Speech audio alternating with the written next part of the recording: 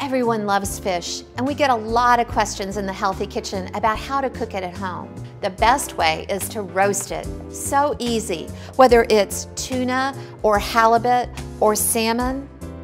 I'm going to season it and then roast it. So this particular salmon filet, heart healthy, lots of omega-3s, and we've added to the nutrition by putting in a little bit of turmeric, black pepper, and olive oil. This filet is a little bit different. We actually put a little Dijon mustard on top, black pepper, and then the smoked paprika. So we've got a smoky flavor to this one. Both of these easy preparations only take about seven minutes in your 400 degree oven. That's the best way to cook fish at home, to roast it in the oven, and you'll come up with a great dinner for your family.